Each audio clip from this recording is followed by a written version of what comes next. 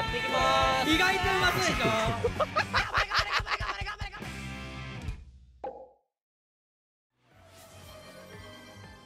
そうなんですよ。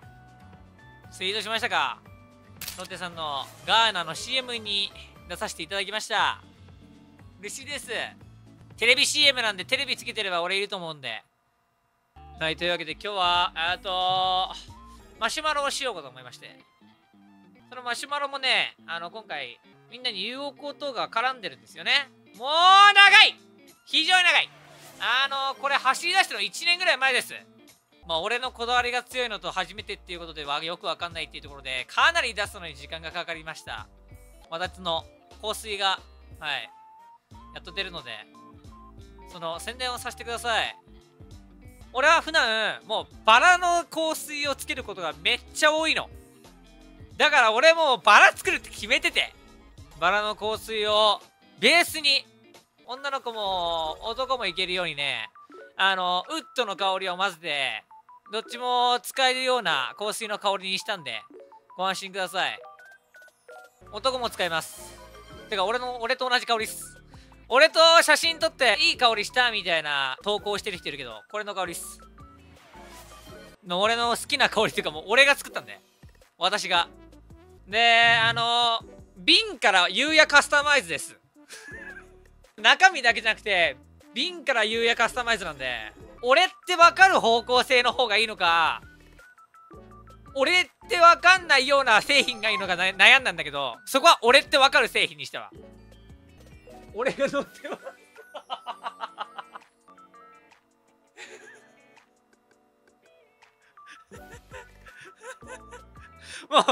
ゆうや乗せちゃったんだから。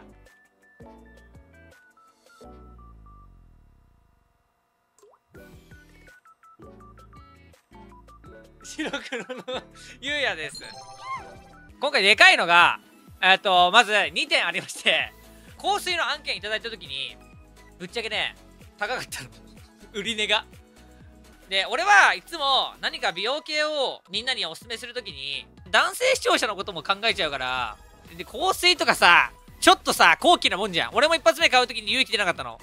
でもそういう時に俺きっかけで買う？っていう香水にもしたかったからもうなるだけ値段下げてくださいっていう話をして、でも瓶から最初からそれ俺カスタマイズにして、香りも最初から俺カスタマイズにして、で、デザインとかフォントとか、いろいろ込みにして、これ以上下げられません。じゃあ、俺の利益なくていいですっていう話になって、ようやく1万円切って9900円。だからこれ買って、俺、利益ゼロです。瓶から一から作って香りも一から作ってフォントとかも一から作ってデザインから一から作ってってやってもうちょっと高くていいと思いますよって話もあったんだけど。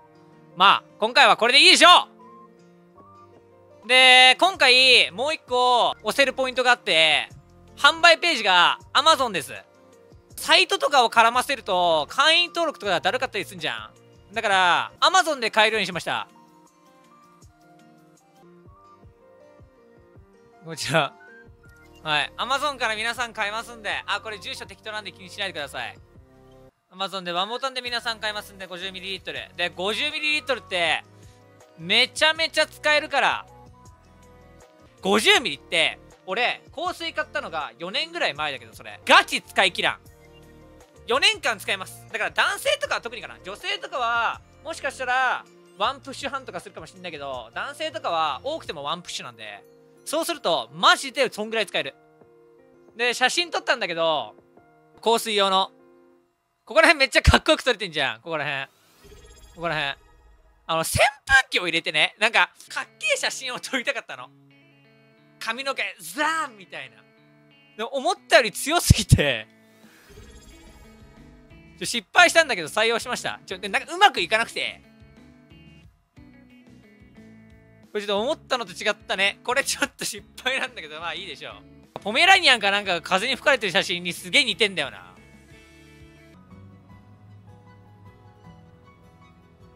似てねなんか。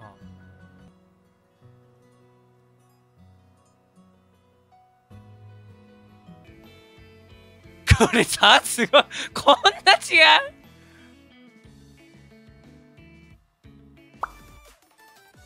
香水のつけ方手首につけるっていうのあんじゃん。あれってもうめっちゃ古いらしくて、香水がスプレーっていう概念がなかった時のつけ方らしいの。な、俺はもう本当に、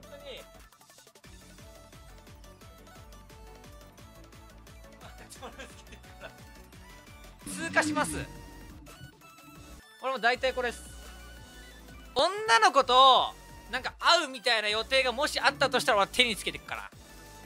でも大体俺くぐり抜ける。いや俺これこの付け方がネタのその演出なんだけどヒーローわかるかな？木村拓哉主演の。木村拓哉が劇中でねそのプレゼントの香水をこう選んでるわけよデパートで。その時にこう空中にシュッシュッシュってやってそこを通るのキムタクが。キムタク漬けなんだよねこれは。キム漬け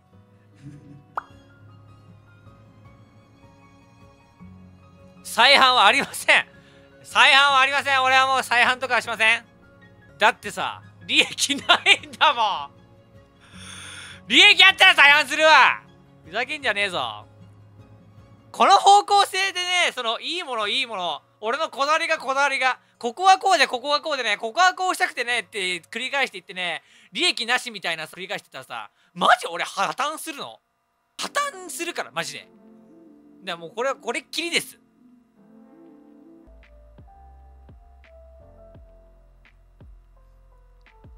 どこで？売り切れたってどこで見んの？カートに入んない？そんなことある？皆さん皆さん 在庫切れです。あの売り切れました。はいというわけで今回はえっ、ー、とマシュマロ募集いたしまして、えー、お題が忘れられない香り。と幽霊より人の方が怖いやん。っていうのを募集しました。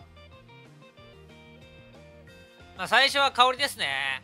シエラフェスで近くを通った時のポッポの匂いは忘れない。あのね美女よかったよね。きなこさん。忘れられない思い出の香りエピソードです。小学6年生の修学旅行の時にキャンドルファイヤーイベント、えー、行動の室内でみんなが汗だくになりながらマイムマイムなどのフォークダンスを踊ってる最中当時好きだった女の子の方に、えー、手をかけた時に一瞬香った匂い。今でもまだ、えー、たまに彼女に会うけれど垢抜けて綺麗になった彼女からはもう香水の良い匂いしかしない。いやなんかさエモエロいしエモいな。小学6年生の時のさ好きなことまだ会うってなんかさそそんなシチュエーションある？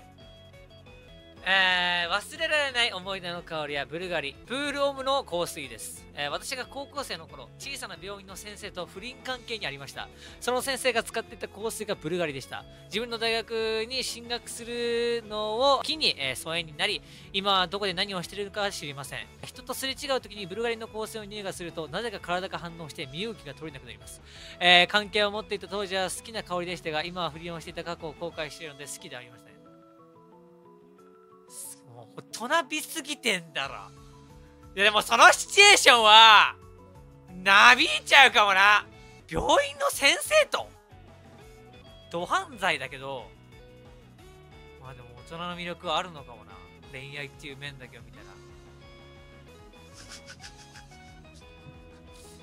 あなたのことは好きになることは二度とないと言われて振られた時の海の香りなんか荒々しいねなんかこれはね、なんか、なんかエモいイメージになんないんだけど、俺の脳内。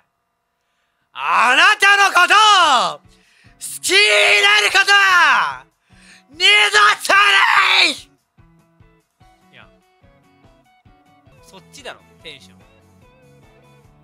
まあでもこういうのが多いね。若き頃の記憶みたいなさ、好きだったバンドマンの香水の匂いが忘れられない。抱きしめられるたびに匂いが私に移って家に帰って服を脱ぐまでその人が隣にいるみたいな感覚になってひどいこといっぱい言われたけどなんだかんだ好きだったし楽しかったなって思いました。けどライジンさんもその香水を使っててバンドマンよりもライジンさんとの記憶が先に出てくる ライジンそれ結構声あるよ。お前ライジンさんに抱かれたみたいになってるけどなどういうことこれ。お前言い方悪いわこれ。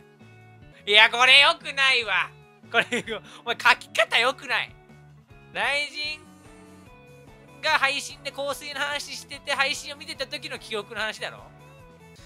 えー、香水を集めるのが趣味の、えー、匂いフェチの男性です。高校生の頃気になっていた女性がとてもいい匂いでその匂いは、えー、僕が初めて買った香水の匂いでした。えー、その日から僕もその香水をつけて投稿するとその女性から話しかけられてお互い匂いフェチで会うことを知り仲良くなりました。今は香水を作る研究のお仕事をしています。彼女との出会いがなければこういう仕事に就こうとは思いませんでした、えー、その女性とは同じ匂いを共有する部屋で一緒に過ごしています。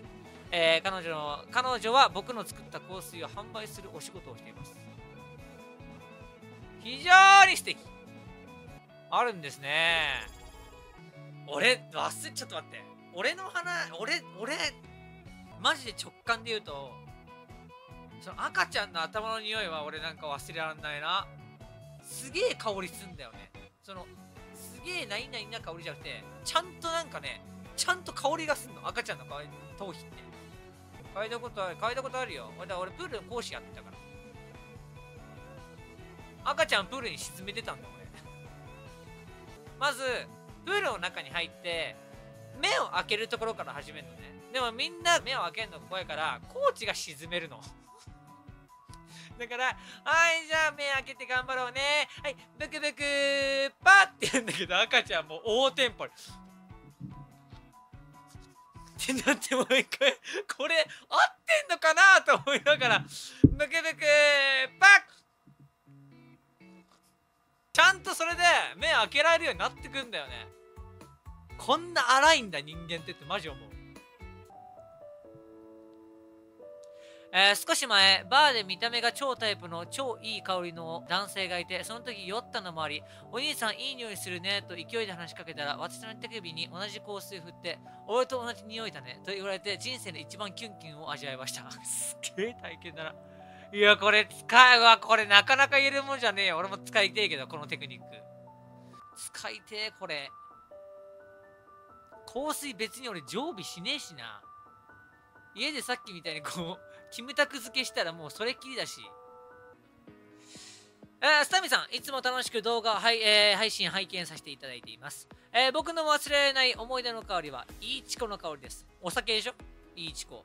僕がまだ保育園に通っていた頃です。いつも仕事に出ているか寝ているのかの父が、週末はレンタルビデオに連れて行ってくれて、一緒に映画を見るのがとてももう楽しみな時間でした。えー、特撮やアクション、時には父が選んだ、えー、子供には刺激的な内容のものも夜更かしして見漁りました。今でも、えー、ジブナイルやゴジラ VS モスラ VS メカゴジラ、えー、の内容は鮮明に思い出せます。えー、僕は父のことが大好きで、いつもお揃いのロックグラスで飲み物を飲んでいました。その日も映画を見ながら水の入ったグラスに口をつけていました。えー、その瞬間、ピリリと口の中がしびれ、熱くなり、えー、甘いのか辛いのか苦いのかわからない、えー、形容しがたい、えー、香りが鼻を抜けていきました。それは父が飲んでいたいいチコだったのです。苦い顔を僕の顔を見て、理解した父は、えー、カラカラと笑いました。えー、それから少しして、えー、父は家に帰れなくなりました。父は帰ってこないのかと母に尋ね、ごめんねと言いながら泣かせてしまった時に、えー、子供ながらに察しました。父は後に一回りほど年,、え、年下の方と再婚しました。えー、僕は若干の反抗期を経て、一人暮らしをし、えー、社会人になりました。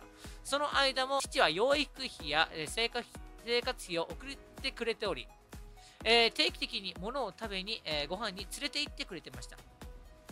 え社会に出た出た今は、え父の背中の大きさをひしひしと感じています。僕も子供ができたら同じように支えられるでしょうかいい父親になれるでしょうか家で一人いいチコを飲むたびに考えます。ただ前日の通り、えー、父の真似事ばかりしていた僕は母からお前の酒好きと女好きは父親譲りと太鼓判を押されています。なのできっと父のようになれるかな。これは余談ですが、僕と父は穴兄弟、おいおいおいおい、ちょっと。何の話け？父が、えー、知ってるかは知りませんが、誰なのかは想像にお任せします。人間も幽霊も怖いですね。DNA ってすげえわ。なんで我慢できなかったの？いい話で。終わればよかったじゃねえか、いい話で。なんか香りの話と一コアが混ざってんな。一コアに移行しますか。一コア行きますか。えー、自転車で段差を登ろうとしたら平行にガガガガってなっちゃったことがあるんですけど、その後に助けてきてくれた人が、え、大丈夫？えー、かわいそう。僕も怪我してくるね。っていって私と同じように怪我してたのが怖かったです本当に怖かったです初対面なんですよ怖ーこれは怖いいや怖いぞマジ最高だななかなか一発目からバケモンスタートというわけで、まあ、こういうのはねえー、人間の怖い話。小学2年生の時に下校中に通る公園に毎日いたおじさんとお話ししてから家に帰るのがルーティンだったんだけど、その日から全然見なくなったと思ったら、そのおじさん誘拐で逮捕されてた。中学生の頃習い事が終わり、えー、家に着いて自転車を止めて時に後ろから、えー、ミニチュアに乗っている全身黒ずくめの細身男がお姉ちゃん今暇って聞いてきて怖くて動けず声も出せ出せずにいたらゴム手袋をはめて胸ポケットから果物ナイフより少し大きいぐらいのナイフを出して、えー、お姉ちゃん刺していいって聞かれた時は死んだなと思いました。みたいなね。しかもこういうのってもう柄悪いのが女の子がターゲットにされるんだよね。えー、突然 12, 12月31日の、えー、0時00分にハッピーニューイヤーって LINE が来て、えー、顔面血まみれで抹茶ケーキを手でむさぶり食う動画を送ってきた俺の妹。それが一番怖かったな。っていうかまだハッピーニューイヤーじゃねえし、一日間違ってんだよ。可愛いけどな、それをお兄ちゃんに送るっていうのは俺可愛いけどな。えー、一コア体験談です。高校の時、えー、ゲームで仲良くなったネットモが私特定するのが得意なんだよねと言って自分が推してきた某有名歌い手の個人情報を特定した時、えー、学歴、年齢などはもちろんその人の裏垢、住所、そして過去の過去や現在の交際相手など。へー。どこまで本当か分からなかったけど、とりあえず真剣にやめた方がいいって言ったれと、でも犯罪じゃないよ。しかも、まるまるちゃん、A さんのこと好きなんでしょ？えー、〇〇ちゃんのためにやったんだよと怖くなってすぐブロックした。大学生になり新規一転。新しいアカウントやアドレスで、えー、SNS を復帰。そしたらある日、自分のインスタのフォローリクエストに知らない人が、そのユーザーの名前が、その子が、えー、当時つけていたものと一致していた。そのまんま2年経って今に至るまで怖くて放置しているが、実害とかは特にない。から考えない、考えないようにして。特定したがる人って何が意図でやってるんでしょうか犯罪ではないのかもしれませんが、いいことなんてない気がします。ストーカーのさ、超軽い一発目ってインターネットでさ、多分結構簡単にできちゃうんだよね。それが多分ストーカー量産する理由だと思うわ。成功体験安すぎるわ。20代前半の頃、えー、10歳上の方とお付き合いしていました。良いお店に連れて行ってくれたり、私が友人と旅行に行くときは、お小遣いにと3万円渡してくれるような人で、同世代にはない大人な部分に魅力を感じていました。数年の交際を経て同棲も始め、結婚を意識するようになったある日、私の携帯にクレジット会社から引き落としができないと電話がかかってきました。急いで自身の口座を確認すると残高がゼロになってしまいました。なっていました。彼氏にそれを相談するとなぜか切れてきます。おかしいと思い問い詰めると、なんと私の口座からお金を下ろしていたのは彼氏だったのです。えー、コンビニで私が ATM を使うとに手元を盗みて暗証番号を知っていたようです。しかも初めての犯行ではなく、常習的にバレない程度の額を下ろしてていたことも判明。旅行の時にお小遣いとしてくれていた3万円は私のお金でした。もめにもめ最終的にはお前がそんなに金にがめつよなとは思わなかったという捨て台詞を残して姿を消しました。えー、捜索のため彼の友人知人に尋ねたところいろいろと人とお金に関するトラブルを抱えていたことが判明。またいなくなる少し前に離婚していたそうです、えー、彼には子供が2人いる既婚者でした。うまいんだね。このストーリーを見ると。結婚を意識するようになってなっていたある日まで気づかないんだぜ。お金の話もさ既婚者であることも小学生の時にいじめに遭っていました。給食のスープを運ぶ容器ごと自分にぶつけて大やけどをしそうになったり、サッカーでボールガールに頭を切られて、うわ、すごいね。階段から突き落とされたり、先生から見て見てふりをされたり、えー、ランドセルを取られて田んぼに捨てられたりと、これ以上のことは書きませんが、ひどいことをたくさんされました。えー、家族はいじめられるあんたが悪いと助けてくれませんでした。あれほど人間が怖かった時期はありません。それでも学校に頑張っていけたのは、ものすごく優しくしてくれる可愛い女の子が一人いたからです。えー、その人が僕の初恋の人です。後々知りましたが、その初恋の人はいじめの主犯格でした。一番怖い、一番怖い、一番怖い、一番怖い。うつでもあるし怖い。うつでもあるし怖い。れちょっと段違いで怖い。ゲロ出るゲロ出るゲロ出る。これちょっと特急だね。レベル違うなこれは。これちょっとレベル違うわえー、北海道での大学生時代の話です。北海道は移動も大変なこともあり、親の計らいで中古車を買えることになりました。えー、購入にあたって寮の先輩のつてで、個人の斡旋している方を紹介してもらって、1対1で話をして、えー、そのまま決定しました。車も届き満足していたのですが、しばらくして警察から電話がかかってきました。内容はその業者のこと、印象などを聞かれたものでした。えー、理由は教えてくれませんでした。その時、特に変なところもなく、いい人でしたよと答えた覚えがあります。その後、衝撃の事実が分かりました。えー、ある研究室が大学の周りの林で土壌調査をしていたところ、女性の白骨死体が見つかっていたのです。その女性は、例の男性の奥さん、もちろん犯人もその人でした。僕以外でも彼とバイト先で一緒に仕事をしている友人がおり、ある日、その人が仕事のミスを連発したことがあったそうです。その時、周りがとても心配したそうで、その人も奥さんと喧嘩しちゃってと言ってたそうです。えおそらくその日が犯行日だったのでしょう。え後に奥さんと仲直りできましたかと聞くと、なんとかなったよと笑顔で答えそうです。もういないのに。え、なんとかなったよ。いなんとかなったよ。いいお家だね。なんとか。サンミさんはじめまして。メッセージを送らせていただきます。幽霊よりも怖かった人間の話ですが私は看護師をしています。看護師を始めたての時は夜勤の時幽霊なんて出たらどうしようって怯えていましたが先輩から幽霊よりも、えー、人間の方が何倍も怖いよと言われその当時は分かりません。分かりませんでした。えー、だけど私も、えー、年数を重ねていって分かったのですが夜中に巡回をしていると廊下に急に血液痕が現れるのです。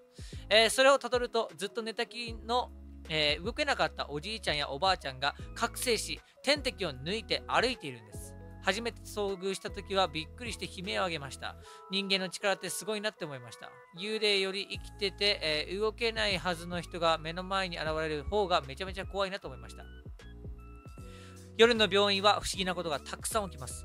時間感覚が暗い、狂い、暴れ出す高齢者、場所がわからなくなり、警察に連絡する患者、えー、休憩室から看護師を連れて出てくる医者など、人間は怖いなと思いました。長くなってしまいましたが、私の体験した話ですが、えー、お話を聞いていただきありがとうございます。これからも応援しています。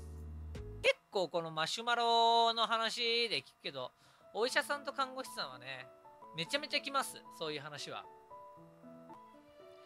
えー、当時付き合っていた彼氏と同棲していましたが、別れて合鍵なども返してもらい、その同棲していた家は私が一人で住むことになり、半年が経とうとしていた頃、新しい彼氏ができました。えー、その日には私の家にお泊まりに来ていました。夜中の1時ぐらい、寝室に行き、寝室のカーテンを閉めようとした時、もやがかかっている窓でしたが、一瞬人が立ってる姿が見えました何事もなく、気にも留めずに1ヶ月ぐらい経ちました。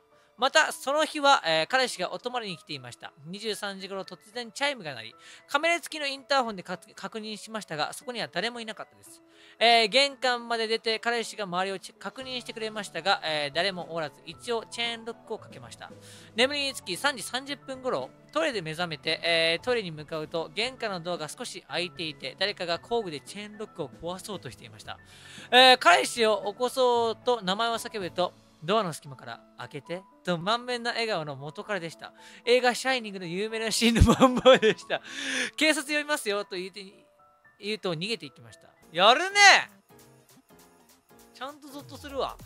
えー、その日は金曜の夜で、私はサークルの後輩と、えー、新宿へ飲んでおり、気づいたら終電近い時間になっていました。当時私は、えー、新宿から帰るのには中央線に乗って神田駅で京浜東北線に乗り換える必要がありました。え終電の15分ほど前だったこともあり、やけに人が少なかったのを覚えています。神田駅に着き、えー、京浜東北線のホームを目指して歩いていたところ、一人のリーマンを抜かしました。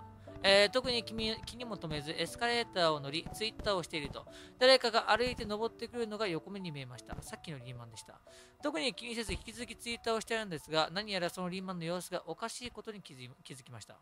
お辞儀をしているのです。えーエスカレーターをお辞儀をしながら登ってきているんです。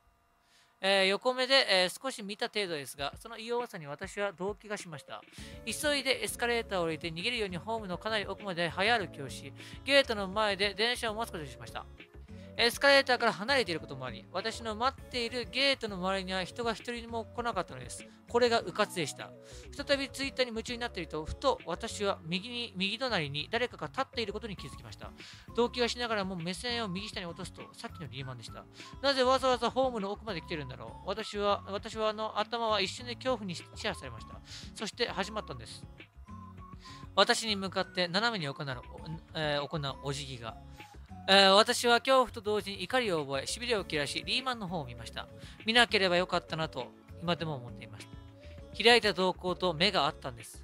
リーマンはおえーお辞儀をしていたのではなく、ずっと私の顔を覗き込んでいたんです。瞳孔を開いて不気味な笑みを浮かべながら、何度も何度も、エスカレーターを登っている時から、目が合うとリーマンは開いた瞳孔のまま何かを話しかけてきました。しかし私は幸い AirPods のノイキャン機能をオンにしていたため、聞こえないふりをして必死に人のいるところまで平然を装って逃げました。以降、リーマンが追ってくることはありませんでした。かなり怖い経験をしたと思っています。それ以降、電車を待つときは人のいるゲートの前で待つようにしています。こういうことでしょすごい情景が浮かばない？これ、この文章。幽霊よりも怖かった人間の話です。えー高校生の時にお付き合いをしていた男性がいたんですけど、浮気されて別れることになったんです。相手の女性は自分の知ってる人で、少しインターネット上でおしゃべりをしたことがある程度でした。彼氏と別れた後、その女性から突然連絡が来て、えー内容を見たら私と付き合ってほしいとのことでした。びっくりして返信をしようかどうか、えーどうしようかしてる間に、えー長文で私に対しての思い、浮気相手になることで、えー自分に興味を持ってもらえると思った。あの男はふさわしくないなど、えー怖すぎて3日ぐらい携帯を開けませんでした。ちなみにお付き合いお付き合いはしました。怖い人間。全部怖いやん。したんかい。これで終わりにするか。えー初増し失礼します。えーその日は家庭科室に忘れ物忘れ物をしたので、えー放課後に取りに行くことにしました。でも、えー声が聞こえたんです。男性声でもあり、高音な声。あれ、某ネズミのキャラクターに似ている。えーその声は荷物置き、えー炊飯器やミシンが置いてある、えもう一つの部屋から聞こえました。不審者だったら面白いなと思って覗いてみると、なんと校長先生でした。謎にこの校長は校門の前で、えーはおはようみたいな某ネズミのキャラクターの真似をするんです。えー荷物置き部屋に一人でこういう真似をしている校長、不審者だと思ったら、えー校長で引く私。この件は誰にも言ったことありません。サミさんがはじめ初めてです。どうか笑ってくださると嬉しいです。マジで怖かったです。えー暗闇の中隅で某ネズミのモノマネをしている校長。ななんかね、これはね、仕事熱心なだけっす。普段の生活で練習していただけなんで、これ。というような感じでございました。一コアでございました。今回は、案件というより、まあ、俺制作の香水を売る配信だったんですけれど、ちょっと売り切れるの早すぎんで、売り切れだとしたら、香水販売配信終わり